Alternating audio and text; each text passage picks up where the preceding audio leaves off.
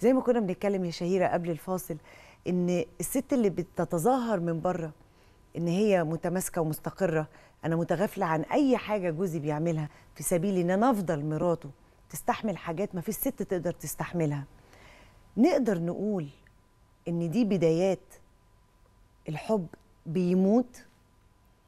ما أكيد ما فيش ست طبيعية من أيام حواء وآدم تقبل بالخيانة إن تبقى عارفة إن جوزها في حضن واحدة تانية وتبقى عادي وبتضحك وعادي استحالة.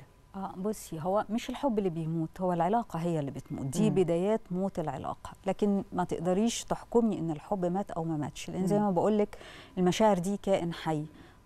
ولا حتى صاحبتها أو أو هو هيعرف أنا مشاعري ماتت ولا ما ماتتش. بعدين بقى هنتأكد.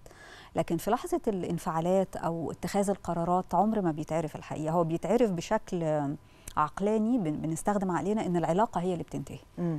لكن المشاعر انتهت أو ما انتهتش لا دي ما بتتعرفش في وقتها خالص آه يعني ممكن من كتر القاسية من كتر المواقف الوحشة طبعا خلاص اللي انت بتعيشها لي باخد قرار إن أنا مش العلاقه أكمل دي استحالة العلاقة سامة خلاص علاقة هموت سامة. هموت بقى لكن بيبقى في حب من جوه أكيد ممكن حب جدا ما بيموتش. آه، لا ممكن ما يموتش وممكن يموت دي. هتتعرف بعدين ما. بتتعرفش في ساعتها طب إيه. علامات ان اللي تقول لي إن إن ابتدى الحب بيخلص. مش الحب العلاقة. أنا دايما بقول العلاقة. آه علامات إن الحب بيخلص آه. بعد كده إنك ما تدوريش تبصي عليه خالص. إنك تنسي في إنك تصحي من النوم آه، بالتدريج تلاقي نفسك مش بيخطر في بالك نهائي. نهائي. هو مش موجود أصلا في, في, في تفكيرك ولا في دماغك وحتى انت تلاحظي ده فتتفاجئي يعني فخلاص.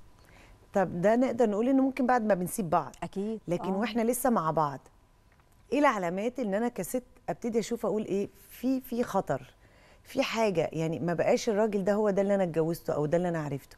بتتحس العلاقة لما بتبوظ على فكرة أو لما البيت بيبتدي تصدعات وهيتهد بتتشاف وبتتحس والست بتتكلم وبتقول آه البيت هيتخرب أو البيت بيتخرب أو المركب بتغرق. آه والست هي أكتر واحدة عندها سنسور للموضوع ده على فكرة. آه. أكتر من الراجل بكتير لأن الراجل بيبقى في حياته وفي شغله وزي ما بقولك بيفكر ب- بشكل عام كده.